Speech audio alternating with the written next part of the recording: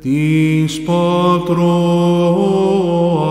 δόξης σου,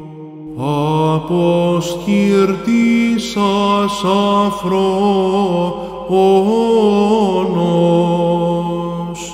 εν κακής εσκόρπισας, ον μη παρεδόκας πλούτον, όθεν σοι, την του ασώτου φωνήν κραυγάζω,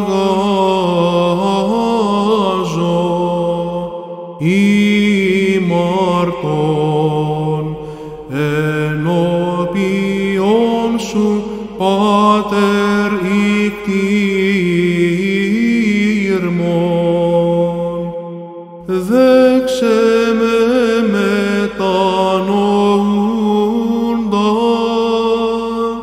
και πίσον με ως ένα των μυστήριων σου.